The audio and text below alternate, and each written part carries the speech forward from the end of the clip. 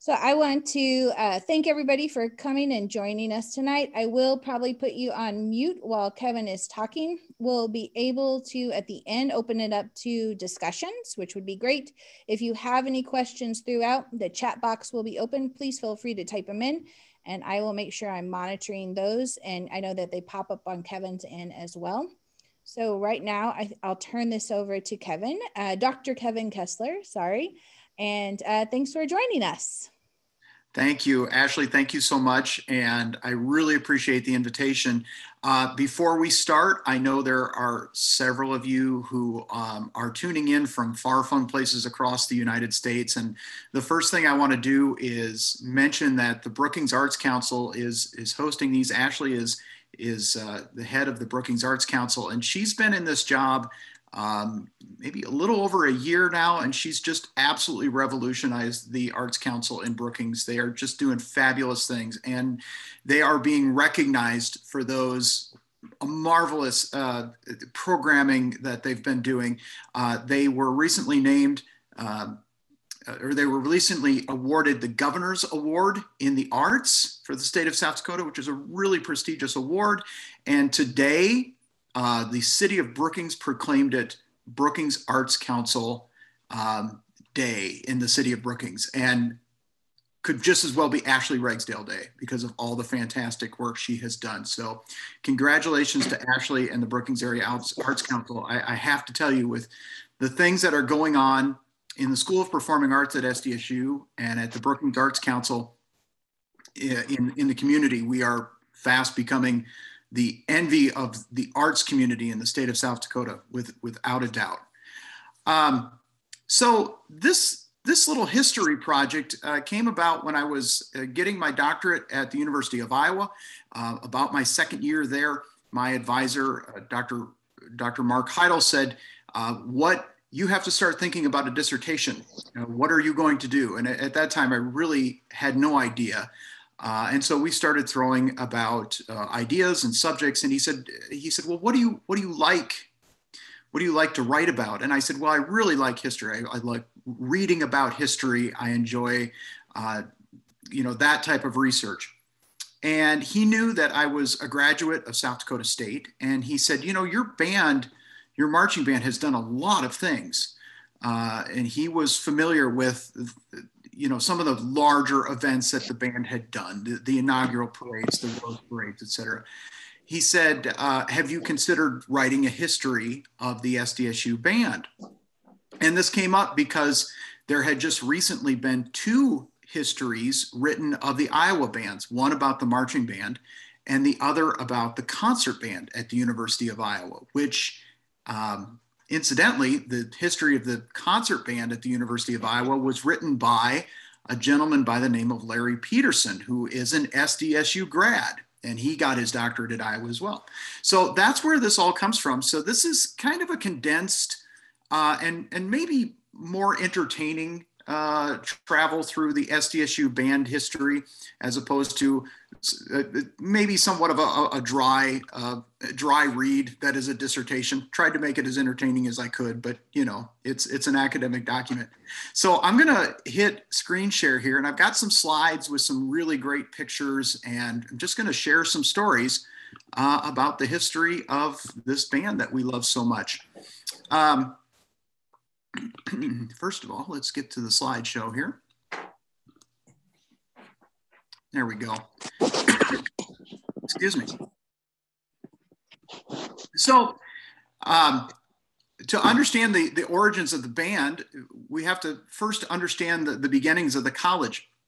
In 1881, uh, a gentleman by the name of James O'Brien Scobey got a seat in the territorial legislature. At that time, of course, South Dakota was not a state. We were still attached to North Dakota. Uh, and so the legislature met in Yankton at the ter- territorial cap- capital. And Scobey went with the idea that um, Scobey went with the idea that he was going to get the prison for Brookings. He wanted the territorial prison to be in Brookings. And he also went uh, to get his law partner a job as the chair of public instruction, which would probably be, you know, today's equivalent to the head of um, the Department of Education.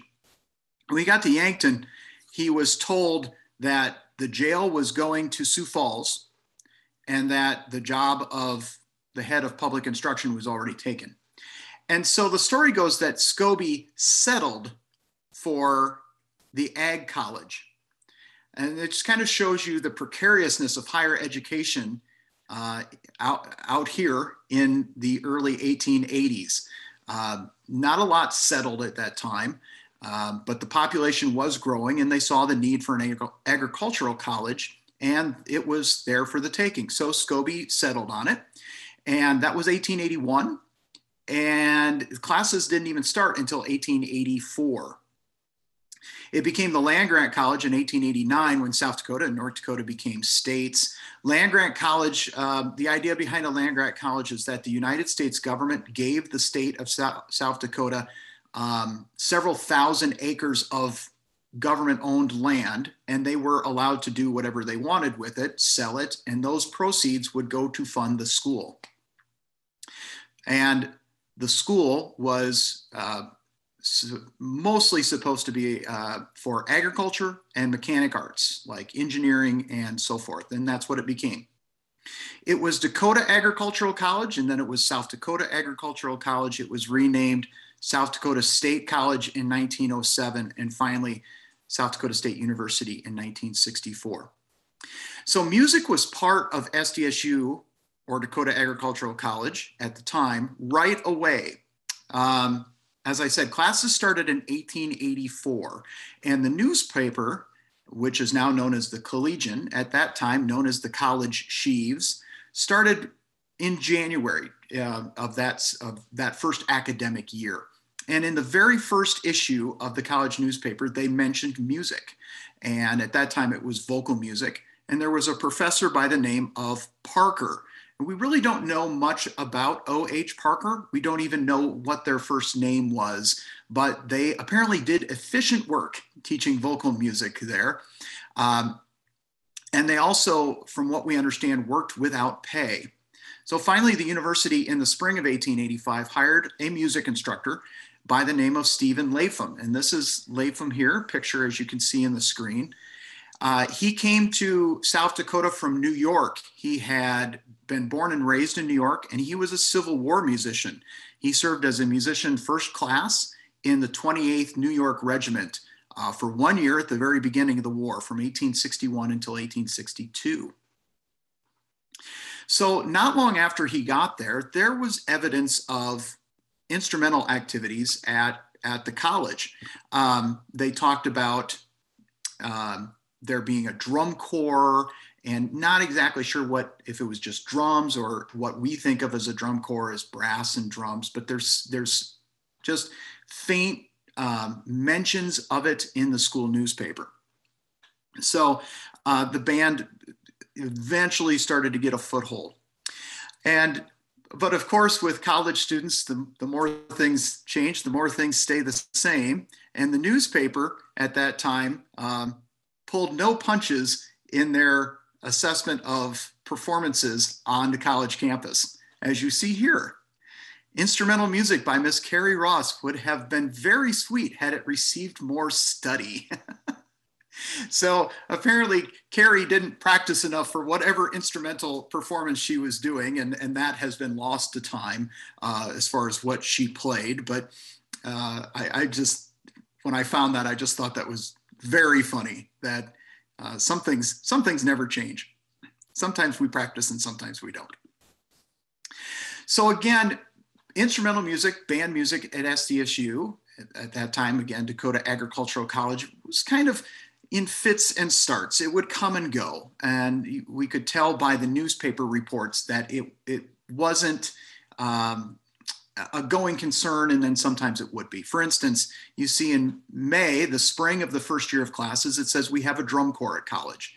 Uh, and then just about a year later, it says that there's a rumor that a college band is to be organized. So somewhere along somewhere along the line, it, it disappeared. And then somewhat of a snarky uh, remark here in in October of 1886. So what would have been the third year of classes. The college band will contain 12 pieces when fully organized They will make more noise than now, maybe, but we doubt it. So apparently, uh, the band had come and gone. And there's evidence of that in some of the writings of the students. And also um, in the course catalog. This is a course catalog from 1886, the third year of classes.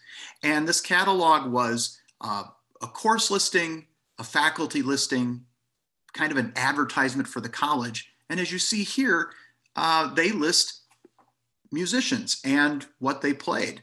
Professor Lapham is, is listed. There's a trumpeter and other members of the band. Drummers are listed as well. So there was some kind of music there. Um, and what exactly it is, we have a little bit of evidence of what that band did. Mostly, they played for um, military functions. As the land grant college, there was a Corps of Cadets, a forerunner to ROTC as we know it today. And at that time, it was compulsory of the male students on campus to be part of this Corps of Cadets. And they did training on the campus green, and there was uh, band music to accompany it.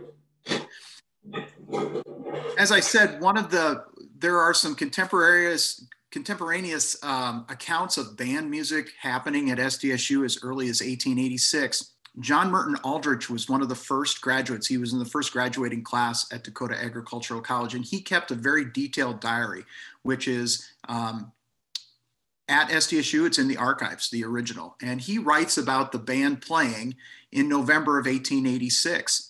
The band also played when the new president, Lewis McLouth, uh, came to SDSU in December of 1886 and even talks a little bit about it in McLouth's diary that the college band um, met McLouth at the train station and played a, few more times downtown. And this is December of 1886. However, um, as much as McLouth probably appreciated the band welcoming him to Brookings, McLouth was very strict to the land grant mission. And because he was, he cut back a bunch of liberal arts um, programs, one of which being music. And so the band disappeared uh, in 1886. And from there, there is no uh, evidence of band happening between 1887 and 1890. And any of the uh, any of the musical needs that were on campus, um, if they needed a band for the Corps of Cadets, there was a community band in Brookings that handled those those duties. But eventually, in 1890, um, the board of trustees at Dakota Agricultural College decided it was time to have a band. And this may be hard for you to read, so I'm just going to read this. This is from the minutes, the meeting minutes of the Board of Trustees for, the, for South Dakota Agricultural College. Um, by vote passed the following resolution. Resolved that it meets with the approval of the board that a military band be organized at college for college benefits and that the board will cheerfully furnish instruments if funds can be made available during the next year and that Professor Lapham be authorized to organize a band immediately without cost to the college. So they were all for a band, uh, but they weren't going to pay for it. Uh, so we have uh, a lot of evidence that uh, students, as far as uniforms, they wore their Corps Cadet uniforms, and that's evidenced by a lot of old pictures, some of which will show that you can tell some of the some of the uh, cadets had a higher rank than others, so their uniforms look different. Different. A lot of the students owned their own instruments, but um, other fundraising, uh, as far as as far as keeping the band uh, afloat financially, um, lessons were given on voice, violin, um, percussion, and wind instruments. And those lesson fees supported the function of the band. Eventually, they asked the Board of Trustees that ran the college itself for $1,000. Uh, that was rejected, but eventually, the Board of Regents, who ran all of the colleges in South Dakota, gave $300 to support the band. And then it was listed as the first regiment band. So it really had a military, um, had a military background.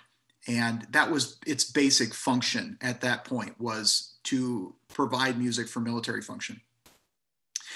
There was uh, kind of a political upheaval at the university in 1892, and about half of the faculty was fired, and amongst them was Lapham. As well as his wife, who was teaching vocal music at the time. Um, they were fired. Uh, no reason necessarily why. They were just on the wrong side of the argument and they were let go. Um, as far as we know, they, they returned, from what I understand, they returned back to New York and lived their life out there. So then uh, the band was kind of handed over to several people for the next few years. And this lovely picture here is from 1892. And it's the oldest photo that I can find of the band. You see on the left hand side here uh, are the band members. Kind of hard to see. I don't know if I can, I can't really pull it much bigger. But on the left hand side here is the is the band. On the right hand side is, is the Corps of Cadets. And again, that's from 1892. It's about the oldest photo I've been able to find of the band. So when Lapham left, the, the direction, direction of the band was turned over to uh, a gentleman by the name of Gilbert Young, who taught woodworks and taught ironworks. And he left for a short time to get advanced training at Purdue, and a gentleman by the name of Harry Cornell directed the band for a short time. And then Young came back and ran the band for a, about five years. There's um, I put George Young, but his name was Gilbert Young. Apologize. But there's Gilbert Young, handsome young man. And he not only taught woodwork and metalwork, but he directed the band for five years during uh, that time. And that's when the band really started to gain a foothold and since 1890 has been in continuous service. Young took the band to some really kind of fascinating performances. Um, the state colleges had a athletic conference and every year they had what was called a state meet and at that time the main event was track football was really not uh, a popular sport yet. But so track and field, they had bicycle races, they had boxing matches, and they had band competitions. And so he would take the band uh, to these uh, state intercollegiate athletic meets, and the band would play there. Um, they did that in 1896 and they did that in 1897. We'll talk about that in a moment. But one of the more fascinating uh, trips they took was in 1896. They went to Minneapolis, Minnesota, and they played for something called a GAR encampment. GAR was the Grand Army of the Republic. And these encampments were um, reunions for Civil War soldiers. And they had these once a year in different cities all over the country. And in 1896, it just happened to be in Minneapolis. And the State College Band went and performed for that encampment. So, really, kind of their first big trip. And if you consider travel in 1896, going from Brookings to Minneapolis was probably a, a, a, pretty tough trip to make. So that, that was a big deal. In 1897, as I said, they went to this state track meet and band contest again. And as you can see um, in the history of the, uh, of the college, they write a little bit about this particular meet and that they really didn't have very good athletes. Um, they really didn't have good speakers for the oratorical oratorical contest, but the band took first place in the band competition at the state meet. So I think we we can say we've been undefeated since 1897. And there's that band. That is a, a photo from 1897. It's just a beautiful picture.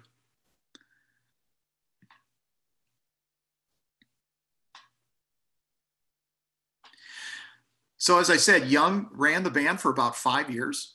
And then uh, I don't know if he left the university, but the leadership was turned over uh, to a gentleman named Harley Hayes Husted. And he had played clarinet, he taught mathematics. Uh, eventually, the band bug kind of bit him because he left SDSU and went to the University of Nebraska and got an advanced degree in music and became a band director in Nebraska. Um, unfortunately, his his life was cut short. He contracted tuberculosis in Nebraska, but he he went on to become um, a trained musician and a band director. After he left, uh, another former member by the name of Orr took the band over uh, in 1900, and he directed the band for one year. this picture is really, uh, it's not your screen. It's, it's not a very high quality picture. But right here in the center of the back row of the mandolin orchestra, if you've ever heard of a mandolin orchestra, but right here is Husted in the middle of the back row. And then over here on the far left with the cello is Orr. Uh, so not only were they in the band, but they were in the mandolin orchestra too.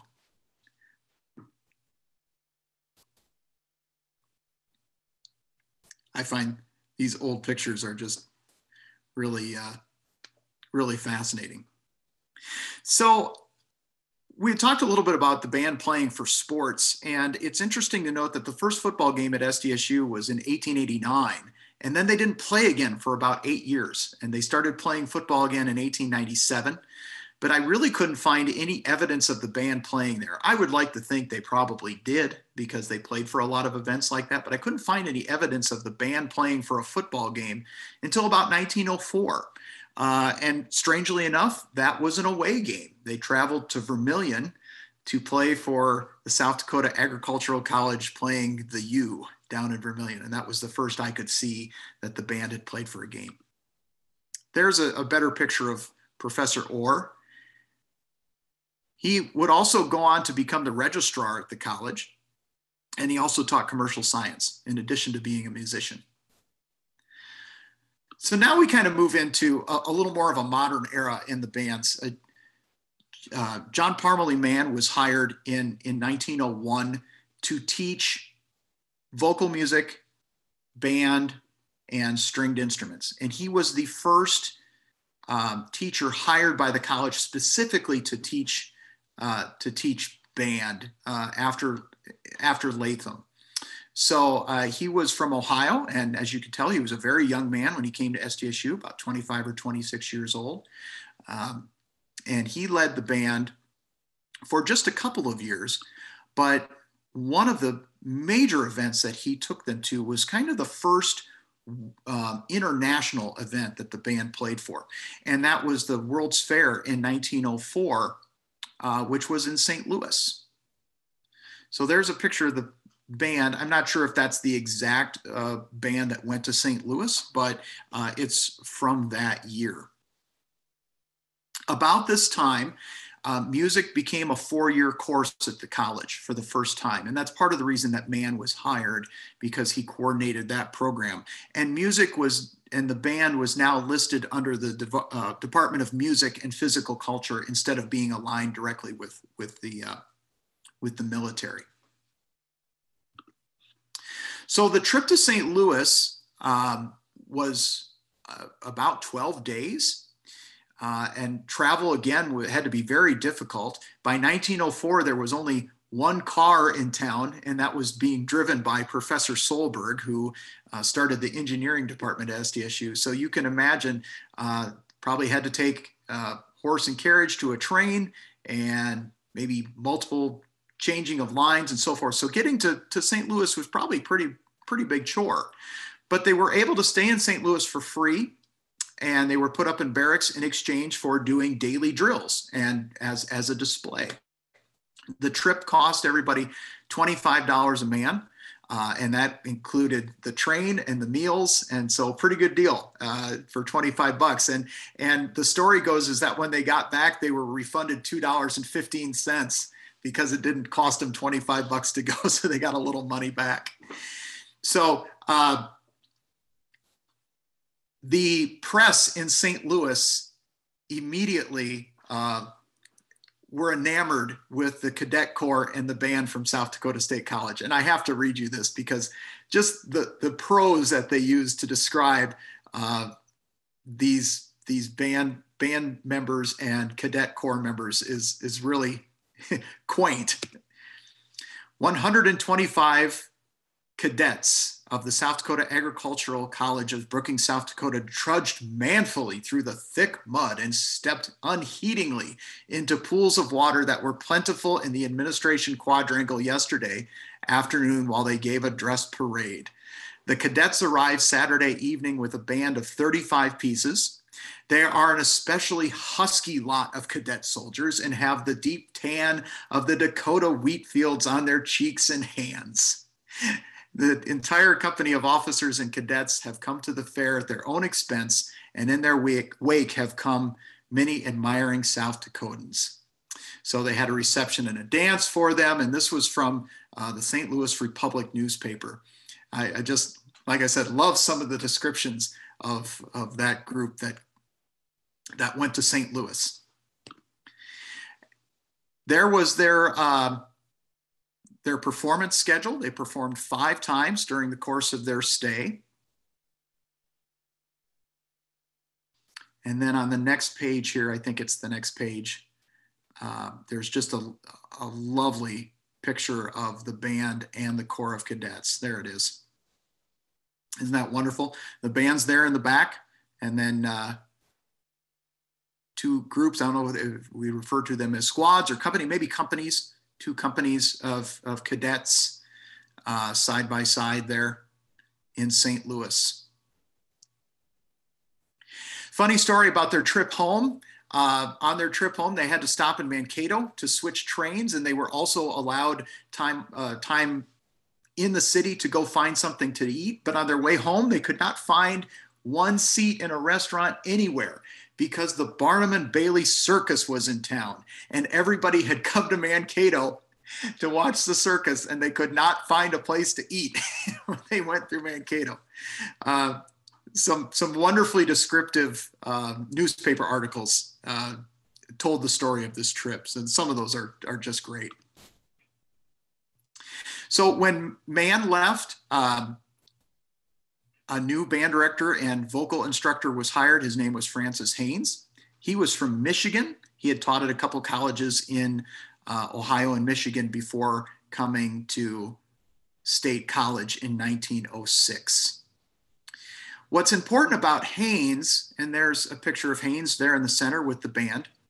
During his time, the band got a little smaller. They dropped maybe on average 10 members. And at that time, when the band was only 35, 10 is a fairly significant number.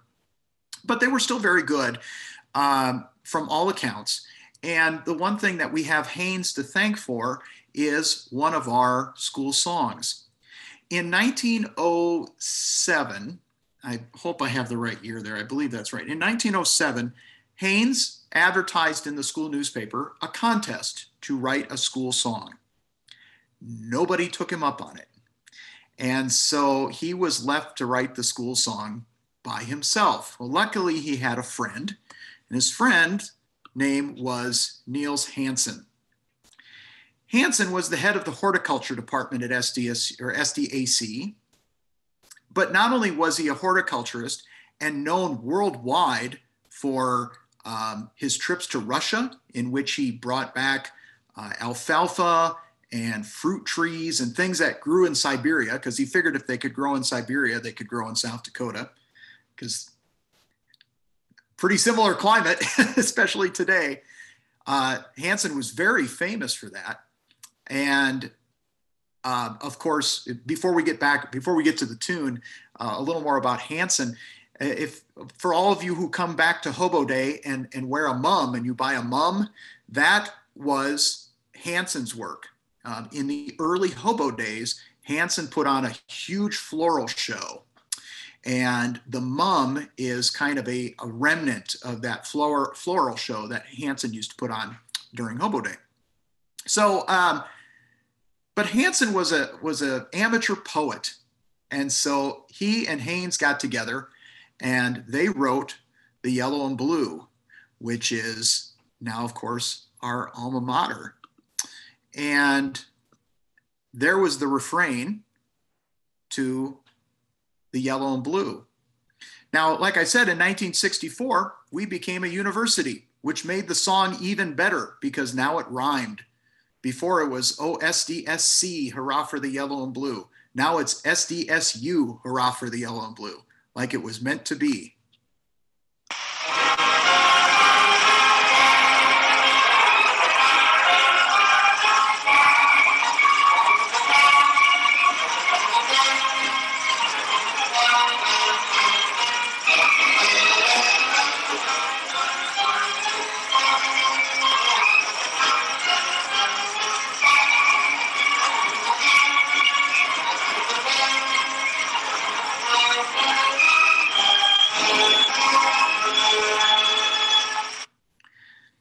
That sounds like an old recording, it is. It's a recording of uh, Carl Christensen's band from 1952, and we're just about to meet Carl Christensen. So I thought that was a good segue to here.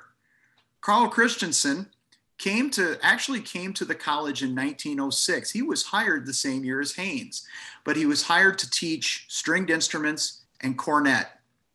Um, he did not take over the band until Haynes left in 1911. Christensen's story is a pretty interesting one. He immigrated from Denmark. His family was very musical. His father ran an opera house in Copenhagen, and his mother would oversee his uh, violin practices, which he started at the age of six.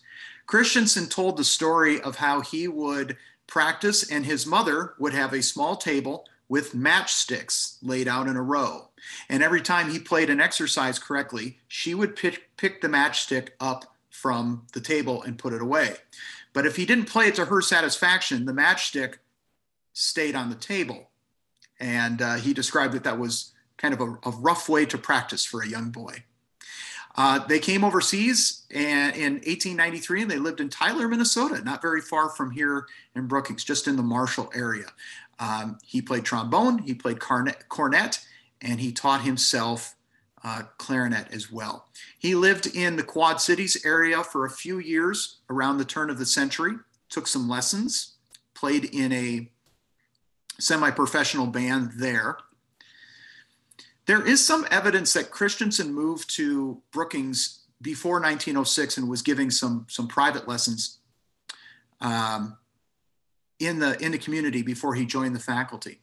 But he came, became band director in 1911, um, was department head in 1918 and served in that capacity until the 1950s. He never had a uh, earned college degree. He received a, an honorary degree from the MacPhail, MacPhail, School of Music, which used to be in the in the Twin Cities, where he did some uh, did some studying there. Never received a degree, but did some studying while he taught um, at the college. He was elected to the very prestigious American Bandmasters Association in 1932. That is an organization that is still around today, and it is um, an ex- exclusive, exclusive club of only the very best uh, band directors in the world. He started the South Dakota Bandmasters Convention, which is still going today. He was a founding member of the Bandmasters Association here in South Dakota, and he was in the first class of inductees to the South Dakota Bandmasters Hall of Fame. There's a picture of his first band in 1911. Christy can be seen right here in the far left, about the third guy over. He's holding a cornet, and that's in front of Solberg Hall the engineering hall, which still stands today. And you can see the differences in some of the uniforms that we had talked about.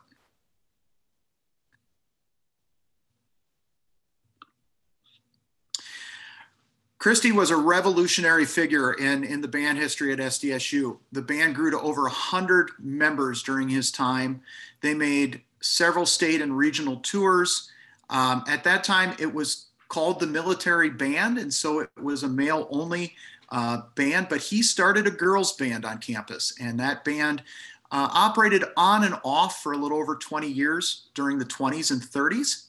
Um, he guided the band through many budget prop crises, including the Great Depression, uh, when not only there was, you know, uh, a huge economic depression, but they also cut the music program. The music major was cut during the 1930s, and so he had to deal with that. Um, he was a revolutionary character in regard to um, making the band co ed. During the war, during the Second World War, of course, the male population at the university dropped drastically because they were they were off to war, and so he made the band co-ed to keep the numbers up. For a short time after the war, it went back to all male, but then in the late 40s, the band became co ed again. And to give you some perspective of how progressive that was, there were a lot um, of major college marching bands that were not co ed until Title IX came into being in the 70s. And when I mean major college bands, for instance, every every band in the Big Ten conference, every marching band in the Big Ten Conference did not become co ed until the early 70s.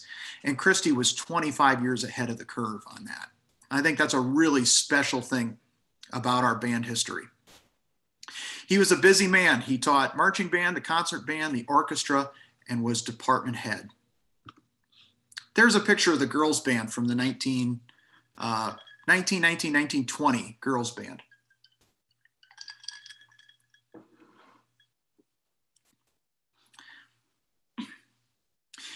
as the band grew, he was also turning a lot, turning out a lot of music education majors, and so it became this kind of self-feeding uh, program, in that he would create a lot of good band directors. They'd go on to the South Dakota and Minnesota and Iowa. They would build up programs, and those kids would turn around and come back to South Dakota State. So by 1939, he had 140 members in the band, and the enrollment at the college was just right around a thousand. So that's amazing. 14% of the college enrollment was in the band. It's just absolutely unheard of. This is a little bit of a tough picture to see, but it's the band in the 1913 Hobo Day Parade, the second Hobo Day Parade that I was able to dig up. It's an interesting story about how Christy took the bands through the parade. Um, he didn't do this every year he was there, uh, but early on, in the early Hobo Day parades, instead of taking the whole band down the street in their uniforms, he split the band into smaller groups and had them dress like hobos. And so instead of one college band going up the street in uniform, there were maybe five or six little bands that were dressed as hobos marching up the street. Now, there's photographic evidence that eventually he stopped doing that and took the whole band up the street in uniform. But I always thought that was a fun story how the band got into the spirit of, of Hobo Day and dressed up dressed up like hobos to go to go up the street. The band for one year was the official band of the South Dakota National Guard. In the early part of last century, the, the Guard did not have their own band like they do now. Now they have the 147th that is stationed in Mitchell. But they would uh, muster in community bands to handle musical duties for um, for the South Dakota National Guard. And for a long time, the Watertown Community Band served that purpose. Well, they started having some arguments with the Watertown Community Band. And, and finally, uh, the last straw came when um, the South Dakota National Guard was about to do their summer encampment. And they called the Watertown Band and they said, We need you here on this date. And the Watertown Band said, Nope, we've raised money to go to California and we're going to California. So uh, the Watertown Band was basically fired and in 1915, the entire South Dakota Agricultural Band, uh, Agricultural College Band, became the official band of the South Dakota National Guard. And here's Christy in the middle in uniform playing his cornet with the rest of the SDAC band at the National Guard encampment, about 1915. Luckily, they were mustered out in 1916, and not long after that, the band that replaced them uh, were sent to the Texas border to guard the border at the beginning of the First World War. And a lot of those band members eventually uh, went overseas. Here's a picture of the band from the 50s, early 50s. You see Christy at the bottom, always, always carried his cornet, occasionally would play along. Uh, if you're if, if you're from this era or from around there, you can see in the upper right hand corner that this building here on the corner was the J.C. Penney's. And I have a feeling is this is a looks like a filling station, but it also looks like the building that maybe uh, Nix is in now. I'll leave that up there for a moment. I know there's lots of people taking a close look at that picture. It's a great angle.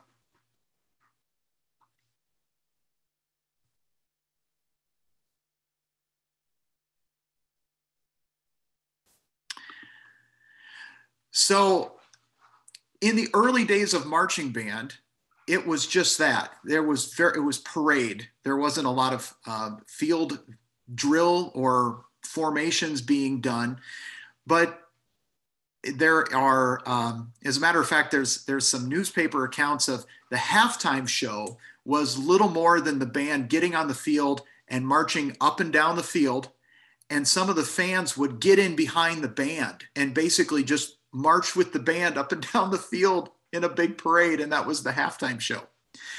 But by 1914, uh, bands across the country were starting to make formations or just do letters. And the first documentation of that happening at Brookings was in October of 1914 when they formed an S at halftime. And you can see here this picture. Um, I believe from I believe from the 30s. I don't have an exact date on this, but I believe from the 30s. They're spelling out NDU to welcome North Dakota University to campus for the game. This is at State Field, and I know some of you remember State Field. You're looking north. Um, this this photo would have been taken from the south stands, uh, facing north, and the band sat in that empty area there. And just a few pictures of some of the things they did. You see here, they're kind of on a counter march. They're they're marching toward one another.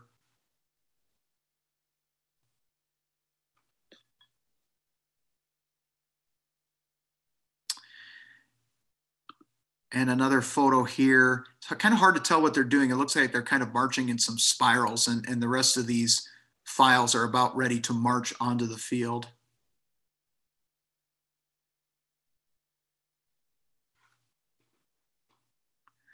So this was very the very uh, infancy of drill writing uh, at SDSU, and I'll talk about that a little more in just a moment.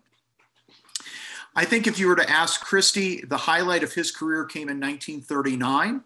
He received a letter from the Winnipeg Royal Welcome Week Committee. And he was told that King George VI and Queen Consort Elizabeth were coming to North America. And it was the first time that sitting British monarchs had ever come to North America. Uh, king George VI was uh, the stuttering king. If you are familiar with the story of the King's Speech, uh, he was the king that took over for his brother when his brother advocated, uh, ab- abdicated the throne uh, to marry uh, Wallis Simpson. So he, he, was a very popular, became a very popular king, but he was quite new in 1939. And so they went on a world tour.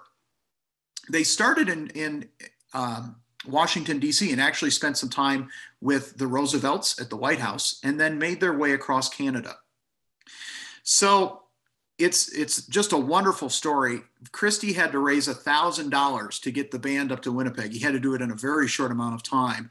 And as as is true of the history of this band, they were uh, supported and embraced by all kinds of individuals and organizations, and they quickly raised the thousand dollars. They got money from a dance, they got money from other campus organizations. They did something called a tag day, and tag day was nothing more than um, you, uh, you gave a, an amount of money and you were given back a tag that you could pin to your shirt that said, I gave to the band. Uh, and so they had a tag day and they raised $1,000 and they took 100 band members up to Winnipeg. They left on a Tuesday, March 24th. They left at 4 a.m. and they got to Winnipeg at 5 p.m. So there was a 13 hour bus ride. Uh, and of course, no interstates at that time. Uh, it's not nearly a 13 hour drive to Winnipeg anymore from here. So it was quite a drive. And apparently, uh, for entertainment on one of the buses, the assistant director, a guy by the name of Edward Schrepfer, played clarinet as the bus rolled along from Brookings to uh, Brookings to Winnipeg. So they they got to Winnipeg at 5 p.m. and there was a big parade to celebrate the arrival of the Royals that started at 7. So if you can imagine riding on a bus for 13 hours and then jumping off the bus and mar- marching in a parade, but they did. There were a half a million people who saw the parade in Winnipeg. There were 19 bands in the parade, and it was a judged event. Uh, and we know this because South Dakota State College Band took first place in the parade. Um, the next day, uh, Christy was awakened by his band members whooping and hollering and celebrating. And he asked them what, what the noise was all about. And the band members had found out before Christy did that they had won the parade. Christy's response was, and I quote, the hell we did. he was pretty surprised that the band had won. For their efforts, they were awarded a $50 first prize. And here's what they did with the money. When they got home, they took that $50 and they gave it to a fundraising effort to build the Pugsley Union, which at that time was under construction. And so that $50 uh, bought a few bricks for the Pugsley Union. Um, the very next day, by the way, they, they, they slept overnight in an orphanage at St. Joseph's Orphanage. And we're going to get back to that in a moment because that's a very cute story. But they woke up at seven o'clock on Wednesday, the 25th, to play for the actual arrival of the king and queen. They had to stand in the rain in, a, in one location and stood there for two hours and 45 minutes waiting for the royals to drive by. And finally, when they did, as you see in this picture, they played God Save the King as the Royals drove by in the car. Christy is right here in the middle. He's standing kind of sideways. You see his cornet. He again, he's playing with the band where my arrow is pointing there uh, as the king and queen drive by. They actually played for the Royals two more times that day. They played in a neighborhood, in an affluent neighborhood of Winnipeg where the king and queen were visiting. And then they played a concert at the orphanage at which they were staying. And the king and queen were there to listen. And I love this next picture. There's some of the orphans holding the music for the band members as they played at the orphanage. It's just a marvelous picture. So the, uh, the band members from South Dakota State became rock stars in Winnipeg. Um, I don't think they bought a meal or a drink up there, as can be uh, attested to by this, this little story in the Collegian when they got back. One band, uh, the band members became celebrities in Winnipeg after winning the parade competition. One band member was stopped in the street while in Winnipeg for Welcome Week, Royal Welcome Week, and was asked about the United States. After asking several questions, the young lady blushingly asked to be kissed because, quote, I have always wanted to be kissed by a Yankee, end quote. State College courtesy, of course, was not lacking, even on one of the busiest avenues in Winnipeg. so uh, they, they just became stars up there. So it was a quick trip. As I said, they, they, uh, they, they drove up on a Tuesday, and on Thursday, the 26th, they got back on the bus and drove home. Uh, they started a little late for home because, believe it or not, the assistant director overslept and they had to go up to his room and wake him up to get him on the bus.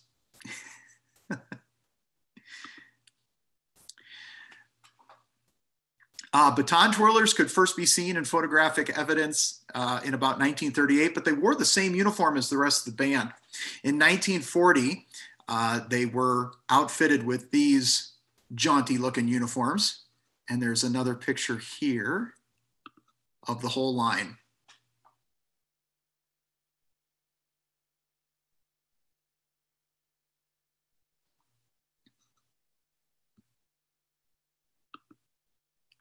So speaking of uniforms, um, again, the band has always been blessed with, with so much goodwill and good help from people.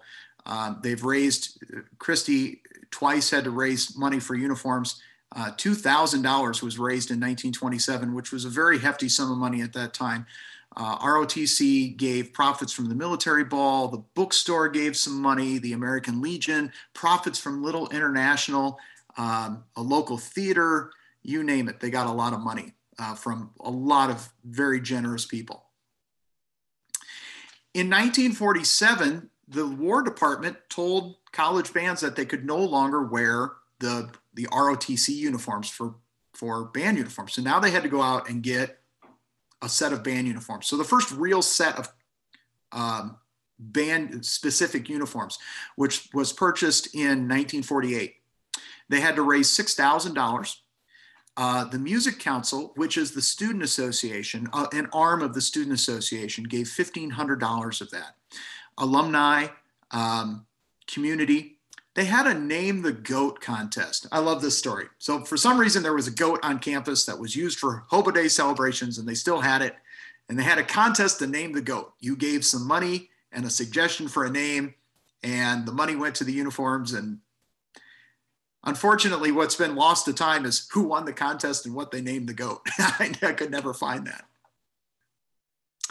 But anyway, 111 uniforms were bought from J.C. Penney's in Brookings. And I have, I've um, just in the last year, I found all the paperwork, like all the receipts and the orders. And it's, uh, we found them when we moved out of Lincoln Music Hall and they bought 111 uniforms from J.C. Penney's in Brookings for $43.58 a piece. What was odd about it though, when they bought these uniforms, but they only bought uniforms for the men.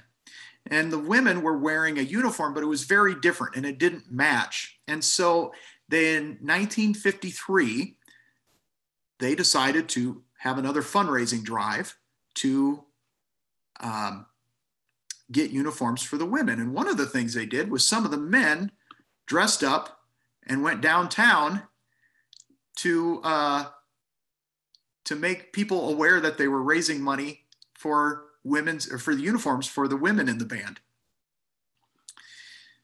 They also did another tag day.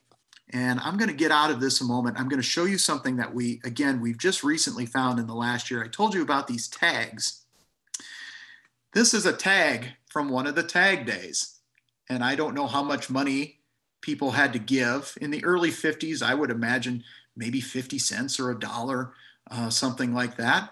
And you would give some money and donate, and you got back one of these tags that said, I contributed to raising money for girls, the girls' band uniforms.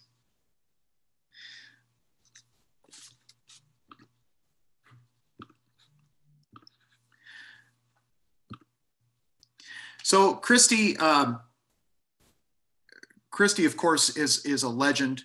Uh, he was beloved. Every story I've heard, and I've met a few people who had played in Christy's bands. They just always speak uh, of him in the highest in the highest way possible. Um, he was a mentor to his successors. I've had a chance to talk to some of the band directors who followed him, and they always spoke in just glowing terms about how supportive Christy was of them. Um, Christy directed the band uh, until 1956. I believe I have the right date. Passed away in, um, or excuse me, 19, uh, 1954. Um, he directed the band until 1954 and passed away in 1965.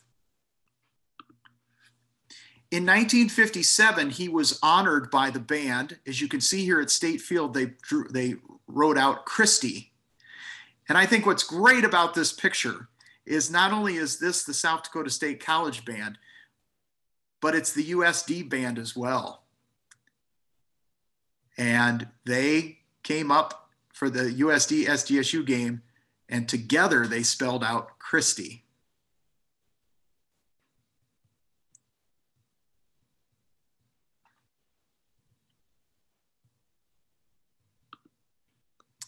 There's a picture of uh, Christy and Kenneth Carpenter. Kenneth Carpenter became the band director in 1957, and this was the day that he was honored at the game.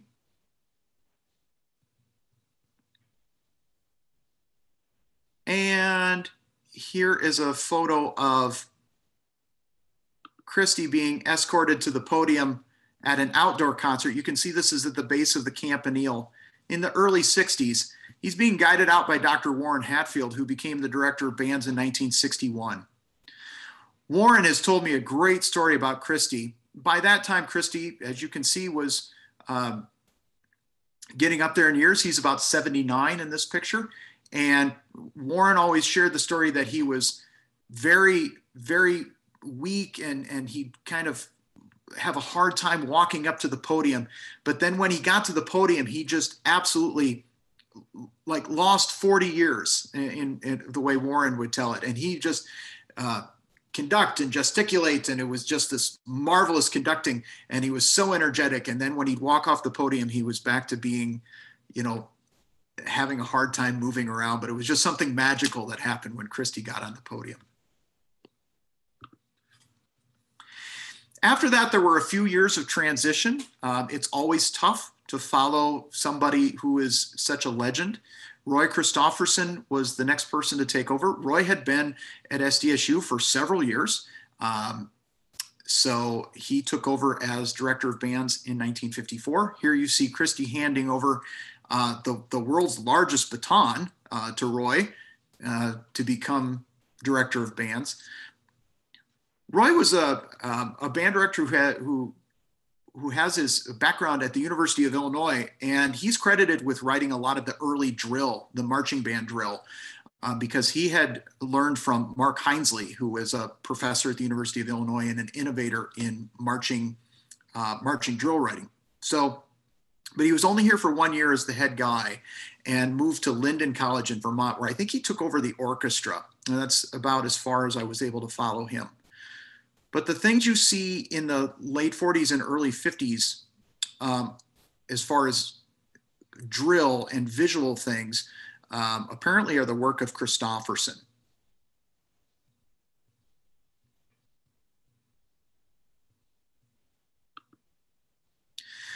When Christofferson left, a gentleman by the name of Miles Markish came to SDSU in 1955. He had a very um, wonderful pedigree, University of Wisconsin, Eastman.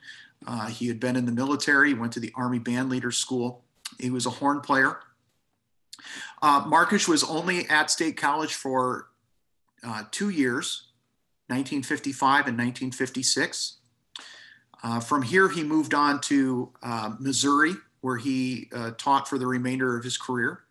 And actually, Mr. Markish lived uh, until just a couple years ago. I know he passed away just, just quite recently. In 1957, Ken Carpenter came to South Dakota State College. Um, he had received his bachelor's and master's degree from Drake. He would later on get his PhD at Iowa. That was after he left uh, State College. But he had been in the Air Force bands, gifted clarinet, saxophone player. And he was a very, from all accounts, just a very enthusiastic, um, just a very go-getter type of personality. And uh, in addition to being a wonderful musician, he always said he wanted the marchingest outfit in the North Central Conference. The band grew under him. He was uh, obviously very popular. And Carpenter left his legacy here as well. He is the person who adopted or brought to us the song Ring the Bell. Uh, in the early, late 50s, early 60s, late 50s, it would be, uh, he decided that we needed a more upbeat, up tempo uh, school song. So he took the melody from the University of Chicago, a tune called Wave the Flag, and he replaced it with Ring the Bell, which, of course, there was the bell in um, North, I believe, either North or Central. North, I believe, was the building the bell was in. And he wrote these words The last line, so let's ring, ring, ring those bells, there was a, uh, a carpenter opened up a contest to the students to see who could write the best last line. And a gentleman by the name of Stan Schleter wrote the last line. So let's ring, ring, ring those bells. And Stan went on to become um, a music educator himself. He taught at the University of Indiana for many, many years. Here's some of the drill that, that was uh, during Ken Carpenter's days. You can see they've got a little car here and they're holding these pieces of fabric or something that look like spokes in the wheel.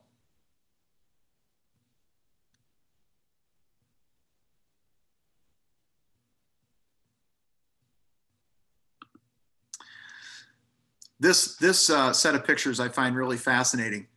This is a horse and there's a blanket and it says USD.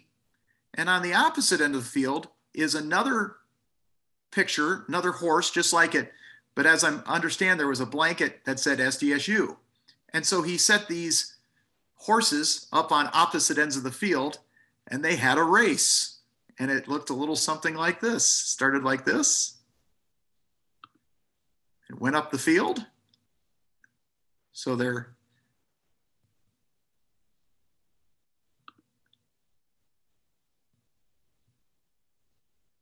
And I'm sure the SDSU horse won.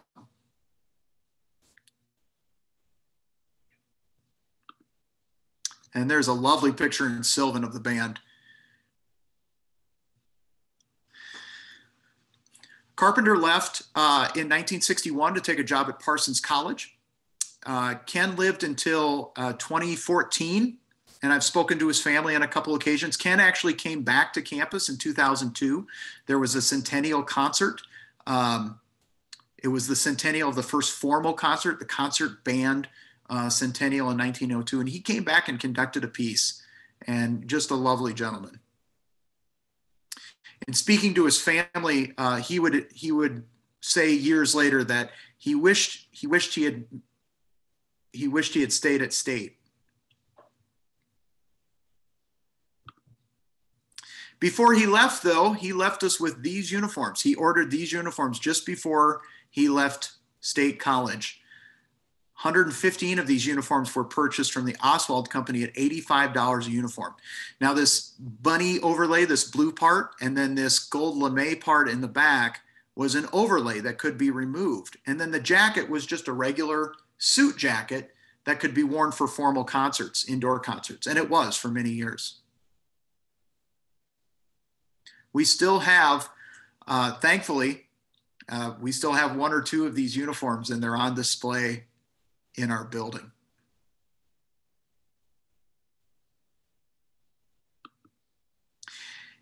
In 1961, uh, the university was absolutely blessed to welcome Warren Hatfield, who uh, we cannot give him enough credit for the growth of not only the marching band, but the music department at SDSU. Warren's a very important figure in our history. He came to us from um, University of Northern Iowa. He got master's and doctoral degrees from the University of Iowa. He was in the Air Force and played in the Strategic Air Command Band down in Omaha uh, during the mid 50s, and he also played in the Omaha Symphony. He was a, a director in, uh, in Iowa at some high schools in Iowa, and he was a student of uh, the legendary Himie Voxman. If you ever played out of lesson books, as a student, you probably played out of a, a Voxman method book. And there's that jacket I was telling you about. This is the jacket without the gold overlay that they used for concerts.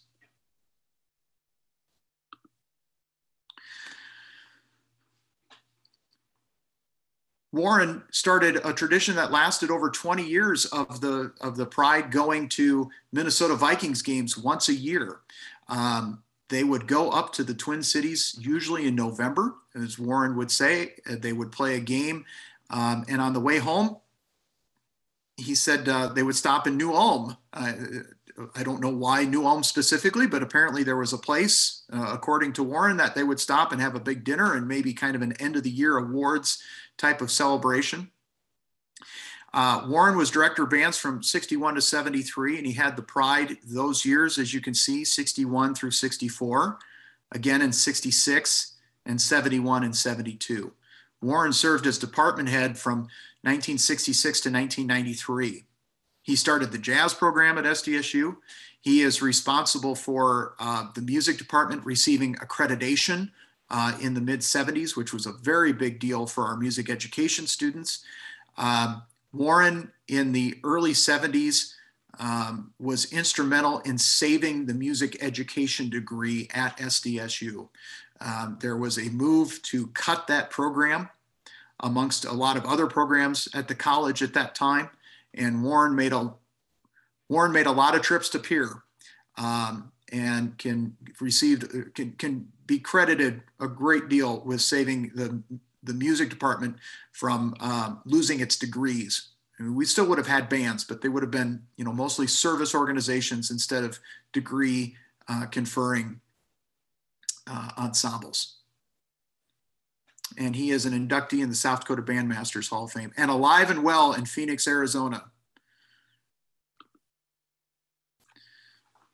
So here's some pictures from Warren's early days. This is his first year, and we know that because this is still at State Field. Uh, this is the last year at State Field, 1962 Coughlin Alumni Stadium opened. And speaking of opening, here's a piano, and let's open it Isn't that, isn't that great? The grand piano opens up.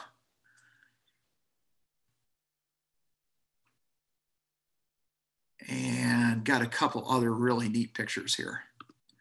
Here's a picture of a person kneeling down and playing a, playing a conga. You can see the, the head up here and the body and the legs. Some really nice, some really nice forms. And let's see, got another one here. Trumpet player. There's the bell of the trumpet and their arms and legs. So Warren writes some, Warren wrote some great drill. Oops, I didn't mean to go ahead like that. Let's back up here. Warren wrote some great drill. And as you can see, it's very precise. It just looks great. Warren also incorporated the, the vocal ensembles into the marching bands here at SDSU. This is from 1962. This is from the, the first year of uh, the first year of Coughlin Alumni Stadium. And you see the Statesmen and the concert choir and the Pasquettes, the, which we now know as Choralia, the women's choir, um, singing and playing together on the field here in 1962.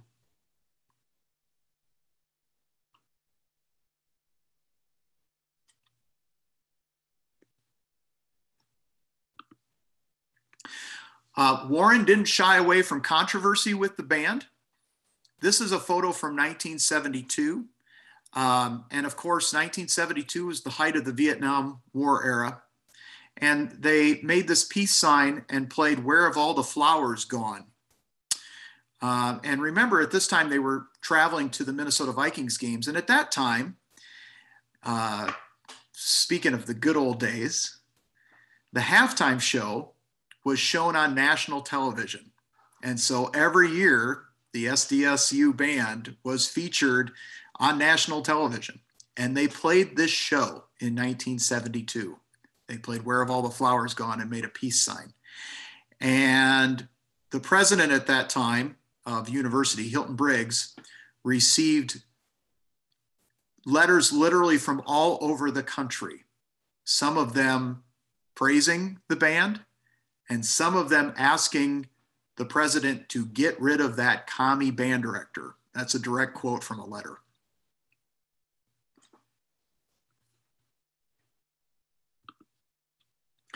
In 1965, Warren uh, took a year to finish his doctorate, and he served as the assistant director of bands at the same time at the University of Iowa. That's the year that the University of Iowa traveled to the Eastern Bloc countries into Russia. And so Warren was the assistant director of that trip, another um, really historically significant thing that Warren was part of. In his place, um, they hired John Colson, who was fresh from the University of Iowa and was recommended to Warren to serve as the interim director of bands. John was only supposed to be here one year. Thank goodness, at the end of that one year, President Briggs came to John and said, John, how would you like to stay and build our orchestra? And this is quoting John. John's response was, Well, I don't have anything better to do. So he stayed on. and did he ever?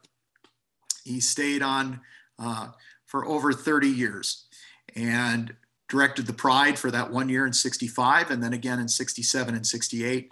Of course, he's best known for his work with the Civic Symphony. He was an instructor of horn and trumpet and conducting. And uh, John was my trumpet instructor as a student and my conducting teacher uh, when I was a student at SDSU.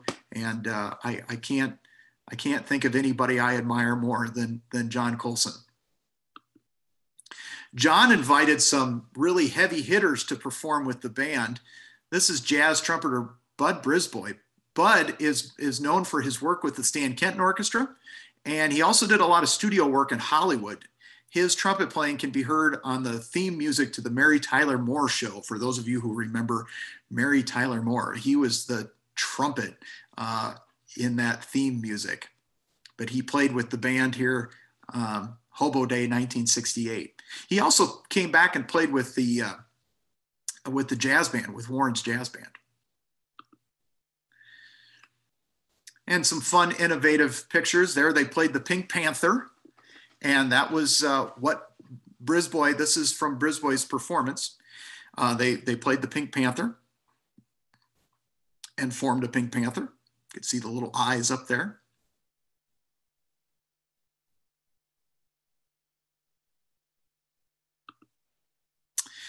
So the pride of the Dakotas. How did we get that name? It was during Colson's time. Um, and according to Professor Colson, uh, during a 66 halftime show, the announcer, Craig McNamara, very organically, as the band was marching off the field, said, Let's give a big thank you to the SDSU band, the pride of the Dakotas. And the names, the name stuck. That's that's how we got our name that we have today, just kind of out of the blue. Um, and the name was even trademarked. Nobody else can use Pride of the Dakotas. It was trademarked in 2005.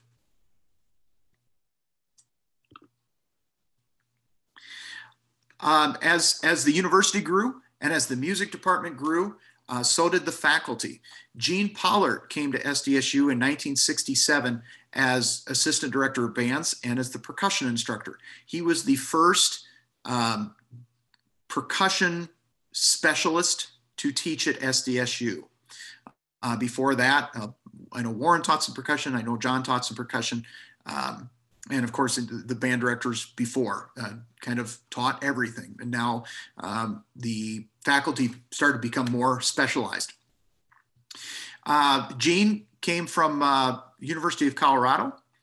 Uh, he's he's got his PhD from Columbia Pacific. He was not here very long. He was here for uh, about four years, but he was director of the Pride in the late '60s, and went on to become director of bands at the University of Rhode Island. And as far as I know, he is still the band director at the University of Rhode Island, 50 years after the fact. So when Gene Pollard left, um, Warren Hatfield took the band over, the Pride over for another two years, uh, 71 and 72. And that was about the time where um, there became some, some struggles with the program um, as far as they, they, were trying to cut the program. And Warren was finding that being department head and director of bands and trying to save all of it uh, and kind of being having to be a politician at the same time and an advocate for the university and for the department was becoming a bit too much. So they hired Dr. Darwin Walker and they hired him away from Northern State, where he had been the, the director of bands.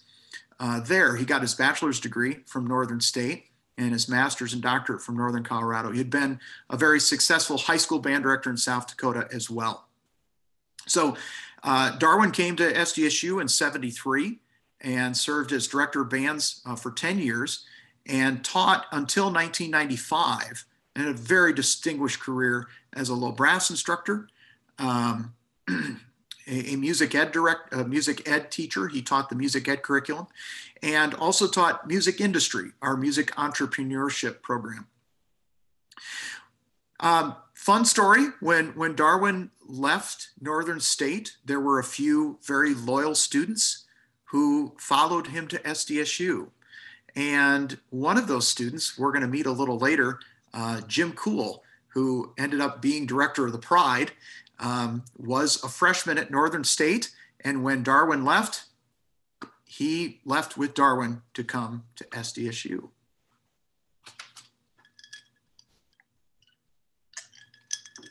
So when, when Darwin came, there was uh, kind of some innovations in marching happening. Um, he's kept with the picture shows, as you could see, but he also did something called patterns of motion, which, for those of you who remember the term squads, it was groups of four people. And the patterns of motion drill was based on movements of four people at a time. There were no, um, you know, individual movements. It was all based on four people moving kind of in the same way at one time. And all of those squads moving in different directions to, to produce different forms. He also um, was the first band director to use flags at SDSU. He called them the Blue Line uh, Flag Corps and also introduced the dance team at that time called the Dakota Debs. Uh, he also led the band in the 1981 inaugural parade. And a couple pictures of that. So there's there's a picture of the blue line there in the back with the flags, and in front with the different uniforms and the pom poms of the, the, the Dakota Debs. There's a lovely picture of the color guard.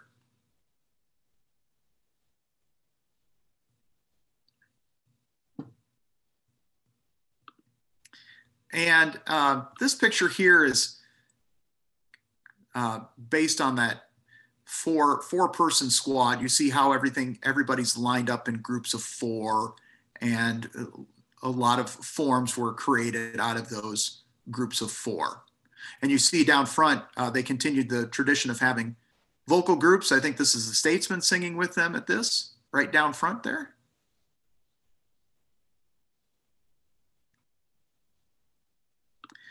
but he still maintained pictures. Uh, you can see the steam shovel. You can see down here the track. Um, they're all marching in a follow the leader, so it looks like the track is moving. And the story goes is that this bucket lowered down and picked up one of the twirlers, and you can see there's a there's a twirler in the middle of the bucket there. And they did this all while playing 16 Tons by Tennessee Ernie Ford.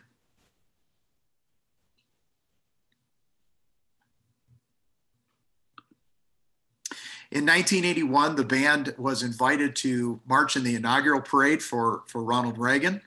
And uh, there's a good picture of that on the Capitol steps. On the left here is Jim Abdnor and uh, Larry Pressler, who were members of the South Dakota congressional delegation at that time. I'm sure a lot of you remember those names.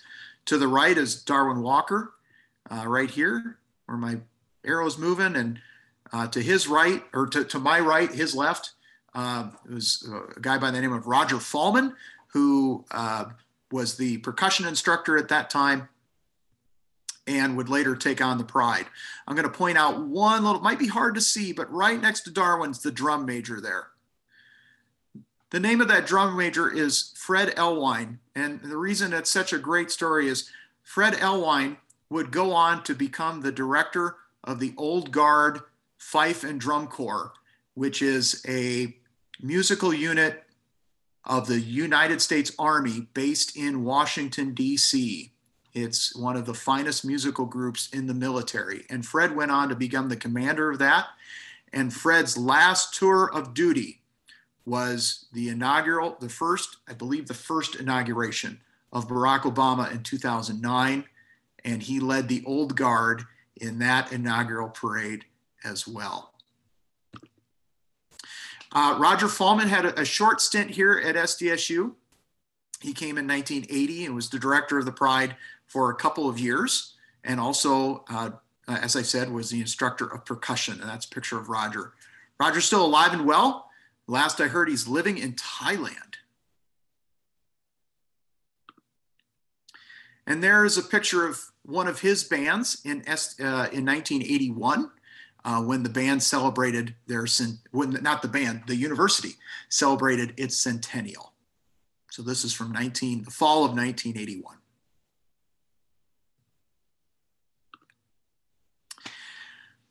Jim McKinney came to SDSU in 1975 to serve as the director of the Pride and percussion instructor. Uh, he had recently finished his master's at the University of Arkansas and was director of Friends University in Wichita. Um, he got to know folks at SDSU. He had, he had gotten a job at a summer music camp out in the Black Hills, and he met the faculty at SDSU, and that's how he found out that there was a, a job opening in, in 1975. Uh, fresh from Arkansas and a native of Georgia, Jim McKinney uh, came to South Dakota State University. Jim spent um, a few years at SDSU and then um, moved to Iowa State for a few years, where he was the director of the marching band there, head of jazz studies and percussion instructor from 1978 to 1983. Um, Jim enjoyed his time at Iowa State, but just had uh, a, a, ton of duties on his plate, and he didn't feel as though help was coming anytime soon and was becoming just a little bit disenfranchised, I think, maybe with some of the things happening there. And about that time, Roger Fallman left and he came back to be the percussion instructor and director of bands, where Jim stayed until 2009. And some of uh, some of the most historic member moments in the Pride happened with Jim as director. He taught percussion for 20 years, was director of bands for um, almost 30 years total between his stint in the 70s and then here in the 80s, and uh, is professor, uh, director emeritus. An amazing list of accomplishments that happened during Jim's time. Uh, they played, continued to play at the Vikings games. They played at another inaugural for President Bill Clinton in 1997. Um, they performed at Bill Clinton's final campaign stop, which happened to be in Sioux Falls, South Dakota in November of 1996. Uh, they played at a Green Bay Packers game in 1998, the National Independence Day Parade in Washington, D.C. in 2000. Um, they also performed at the PBS Capitol Fourth Public Broadcasting. We'll talk about that in a little bit. Two Rose Bowl parades. Um, led the campaign to purchase a matching set of instruments, which we still enjoy today. I'm going to talk a little more about that as well. In 1998, when when news broke that they were going to play at the Packers game, uh, the band, which at that point was 250, absolutely exploded uh, as far as enrollment. It went over 300, and for the next decade, the band was between 300 to almost 400 members during that just glorious time. He also developed the very famous drum line, and the brass line started under his leadership as well. That's just a little look at the, I dropped that in there kind of as an evolution of the uniform too, just as an aside over the, the last 50 years or so.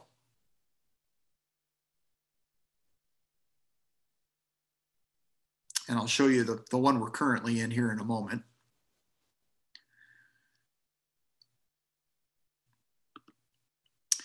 As I said, we played for Bill Clinton's last campaign stop in Sioux Falls, South Dakota. And I was with the band that night. I was drum major at that time. And we played and played and played and played and played. And at the end of the night, we were told to stay in our seats. Uh, so we stayed. And then we were told that we were to go to the floor of the arena. At that time, it was at the Sioux Falls Arena. We were told to go to the floor because the president wanted to meet the band. And so there he is with Jim McKinney handing him a Pride of the Dakotas hat uh, and Bill happily wearing it. And he went around and shook hands with uh, pretty much the entire band that night. It was really, really something else.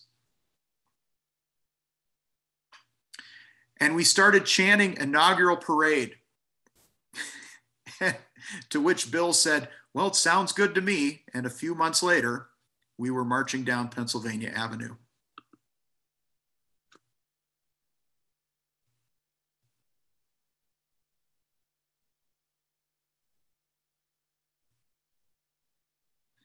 the band played a, a lovely arrangement of um, "We Shall Overcome" because not only was it uh, the inauguration day, it was it coincided with the Martin Luther King Jr. holiday, and so Jim Cool, whose name I mentioned before, uh, did an arrangement of "We Shall Overcome," and that's what we marched down the street to. As I said, in 2000, the band was invited to perform at the National Independence Day Parade in Washington, D.C. And at the same time, um, the organizers of the public broadcasting show A Capitol Fourth, which is the big variety show held every year on the Capitol grounds, um, invited us to perform there as well. And so we performed for an international television audience um, the night of July 4th. And it featured actor Barry Bostwick, seen there uh, wearing a pride shirt that we gave to him.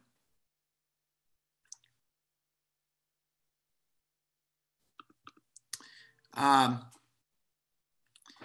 so just a few more pictures from just some really marvelous years of growth and uh, amazing activity in, in the band those years.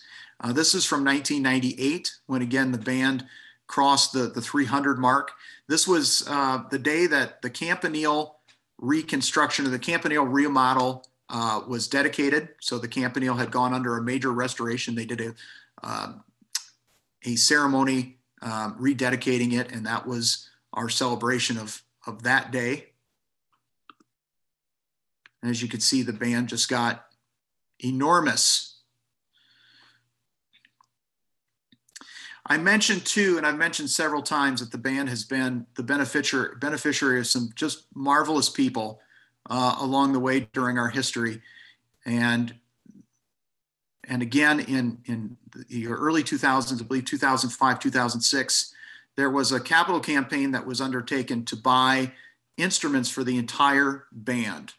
Um, at that time, saxophone players, trumpet players, trombone players, clarinet, flute players had to supply their own instruments.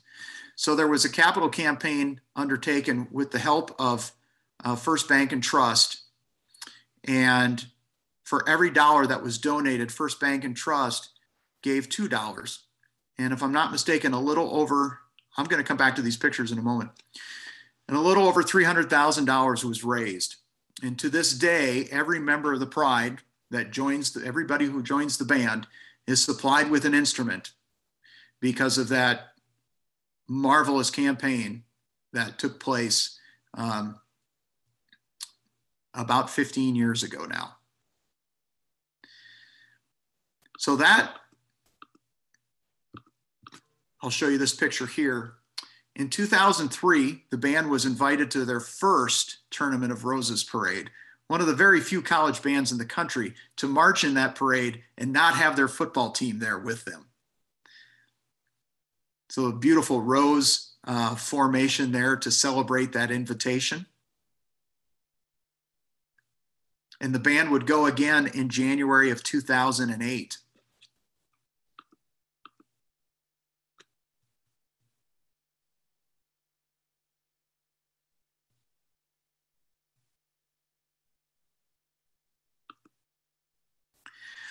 When Jim retired after just a legendary career, Eric Peterson was named director of bands. He came to us from uh, the University of Utah, where he was the assistant director of bands. Eric was here for five years. He directed the Pride for one year, uh, and his duties as director of, of bands and his duties in the low brass area, he taught euphonium and tuba, uh, just became a bit much. Uh, the workload became a bit much. So at, that was when our friend Jim Cool became director of the band. But Jim was no stranger to the band. Jim had been an assistant director since the 70s when he was a, when he was a master's student, and pretty much everything that you heard that band play for about 30 years, from the late 70s, uh, almost 40 years, from the late 70s, early 80s, up until um, up until his retirement in 2015, Jim Cool arranged the sound of that band uh, was Jim Cool's pen. Jim was a student at SDSU. He got his bachelor's and master's, and as I said, spent a career uh, teaching theory, music theory, teaching guitar, and was the assistant director for years and years, as well as the pep band director, and oversaw the color guard for many years as well. Jim is an absolutely gifted arranger, and we still play a lot of his tunes because they're just that good. You can't get rid of them.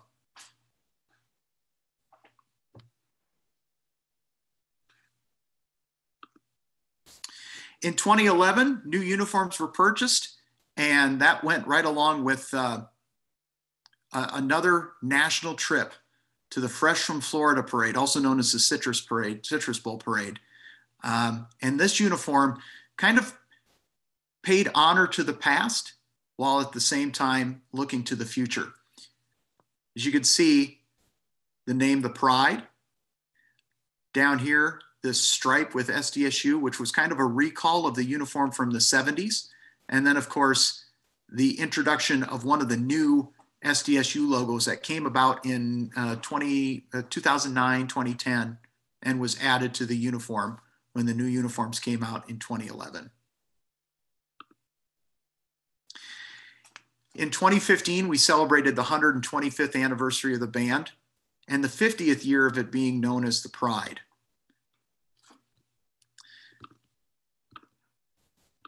In, whoops, in 2015, one of the streets on campus was named Pride of the Dakotas Avenue. And I challenge you to find another college marching band in the country that has a street named after them. We're now, the football team is, is now housed in the beautiful Dana J. Dykhouse Stadium, and we have a cutout seat section that is especially for the band. It has extra wide rows and it has direct access to the field. None of the other stands do. So we can get in and out very quickly uh, for halftime shows. It's a great place to play. But we know that the more things change, the more things stay the same.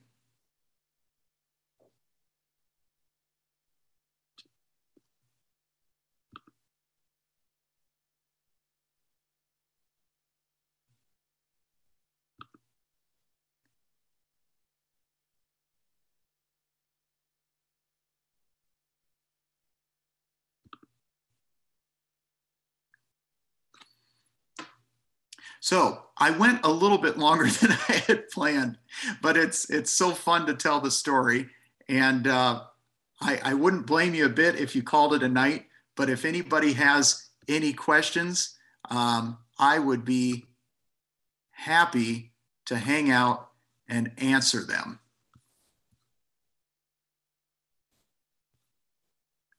And you can either turn on your mic or you can type them into chat.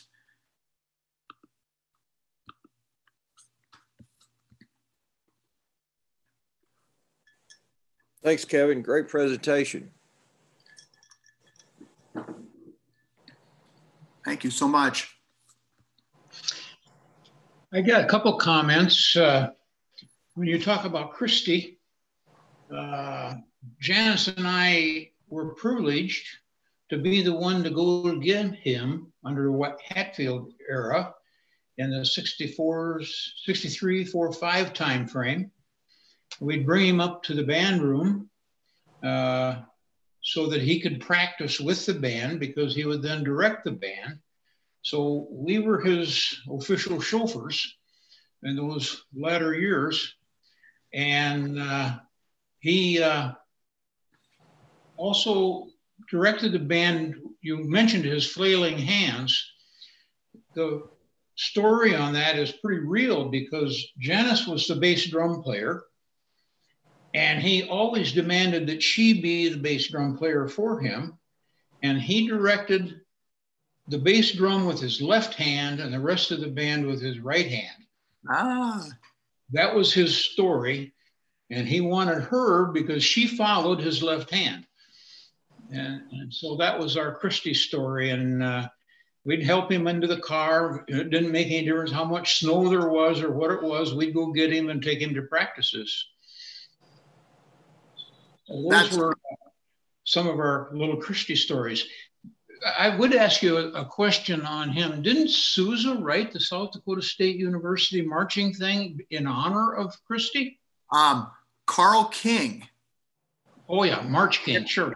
Yeah, Karl King wrote the South Dakota State College March, and I what I think is the is the story is that King and Christy met one another because they were inducted into the American Bandmasters Association at about the same time.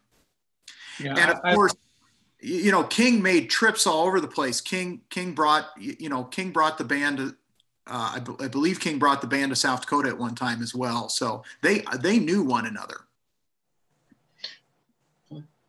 We have another story that we'd tell you, but it would take a lot longer than these folks would probably want to hear about a Warren Hatfield and our visit to a Vikings game.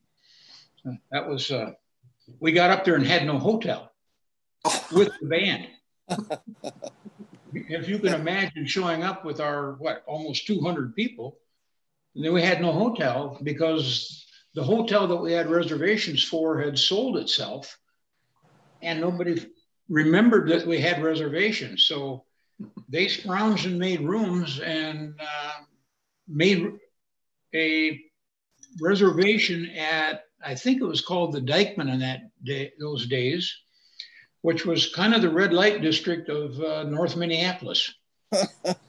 and we got about half the rooms in the Dyckman and half in uh, uh, our hotel.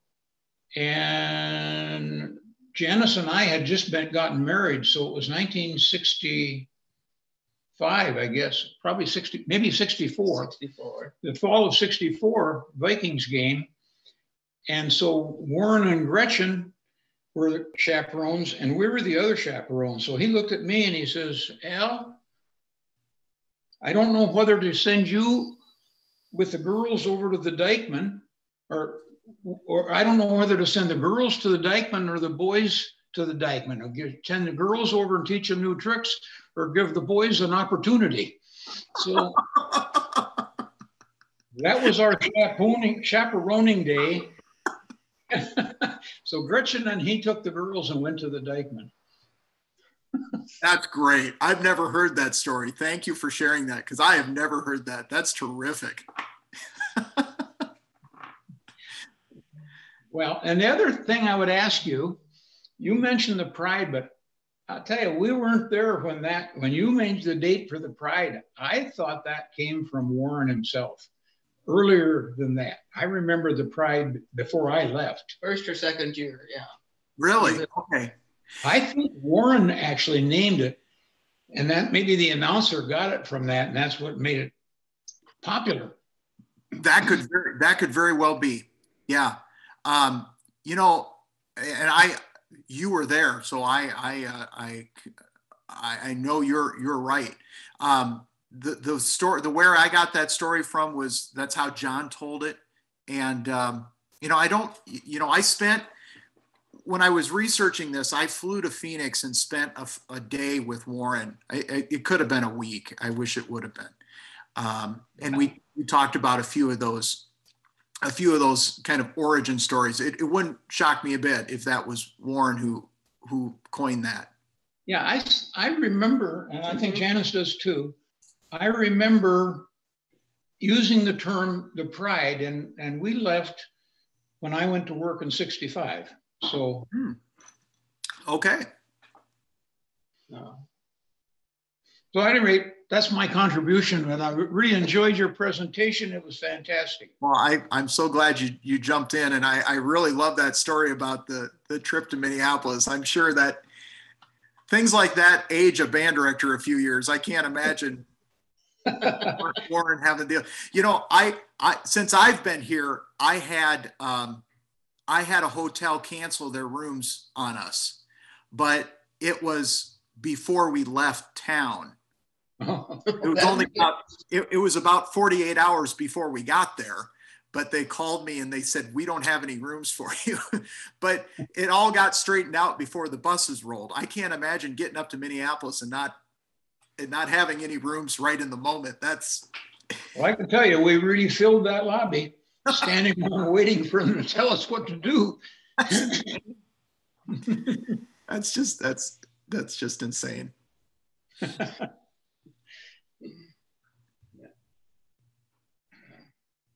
Well, thank you for the presentation.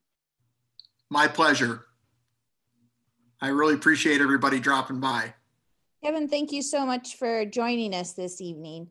And I just want to congratulate you on this past year. I know it's been kind of crazy with the marching band, but you guys did a fantastic job of kind of pushing through what this fall was. And I know I am looking forward to maybe a more traditional fall marching band season next fall. Uh, yeah, we all are. Uh, yeah. and, and, for those of you who are joining us, a- Ashley is is too humbled to, to say this, but Ashley works with the Pride uh, for the last, what is it, 13 years now, Ashley? 13 years, yeah. I can't believe we've been here this long. So Ashley has been the director of our of our frontline mallet percussion. Of course, her husband Aaron is director of percussion studies at SDSU, and and I would be absolutely and completely lost without Ashley and Aaron and Jake Wallace, who's our director of concert bands, and Andrea Kiekefer, who is the director of the of the uh, color guard and of course Kathy Larson, who is who is our band mom. If you know Kathy, she's she's looked over the the uniform inventory and has uh, um, carried carried the first aid kit and and been and been the the mom away from home for this band for about 25 years. It, it's it's a it's a great team, and we have uh, terrific days ahead of us. Uh, keep an eye out on the news uh, that comes out from the university because in, in hopefully very short order, we're going to be able to discuss um, another substantial national trip that this band is so well known for. And I hope in the next couple months that we can share that that news with you. We're, we're putting the final touches on it. So I, I, I, I can't divulge tonight because uh, I, I would not want to uh, get ahead of, of myself or some other some other people the university or or just jinx it uh, but just keep an eye out in the next couple months because there's some exciting news coming. So thanks again everybody for stopping by. We we shouldn't tell our grandson who's in the pride? Who's your grandson? Nick peterson? Oh okay. No. We've we've we've been covered the pride from 65 to 2001 or 61 wow. from 61 to 2021 yeah. You you have you have some some great insight and and uh, some terrific stories. And that that story about christy's just just wonderful. I i love talk i've i've had the pleasure of, of meeting some people who who played for christy you know and uh, he was there until the mid 50s so there's there's still a lot of people who are around who, who played for him. And and uh, just just terrific stories. I, I, I love hearing every single one of them. So thanks so much i, I would also encourage your presentation yeah this year that uh, if you head over to sdsu's um, both their website as well as the facebook page that all the concerts this season are live streamed which is pretty amazing that even all the way in Arizona, you can pick up any concert that the university is having this year. So it's been, I know that we've been enjoying that at our house, but I will also be glad to be able to get back into the amazing hall there and be able to see live music too. Uh, this is the first in our series of Tune In Tuesdays. Next week, we do have um, Steve Randall and Jim Pollock, who were uh, photographers for the Army in Vietnam but they are also now plein air artists. So they'll be joining us next week. Then we are hosting the South Dakota Poet Laureate, Christine Stewart, the week after. And then we have a presentation on the history and music of Johnny Cash. So we have some a couple of great weeks here, all online that you can do from home, uh, even in your pajamas if you want. You just don't even have to turn on your screen. And uh, thank you, Kevin, for joining us today. I really appreciate you coming and sharing the history of the Pride. I know that uh, it, it was it's a great presentation, and I hope that uh, hopefully the university will be able to maybe we can put that up on your social media pages up there so people can enjoy it as well. So, but thank you all for joining us today, and uh, stay warm, and um, maybe we'll see you next week. Thank you. Thank you. Thanks.